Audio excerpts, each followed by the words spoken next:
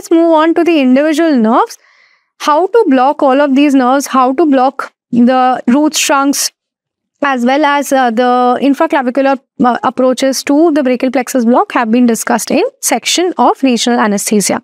So the first nerve that we have here is the axillary nerve. It is also called as the circumflex nerve. Okay, circumflex means going in a circle. So it arises from C5, C6 that is from the upper trunk and it's a part also of the posterior cord. Okay.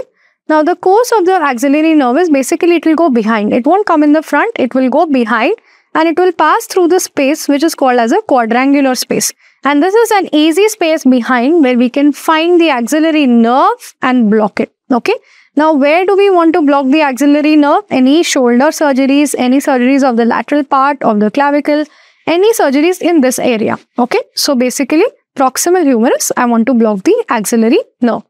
So, this quadrangular space is bound by the teres major, the teres minor and the long head of the biceps brachii and the surgical neck of the humerus. And this is where I easily find my axillary nerve along with the axillary vessels.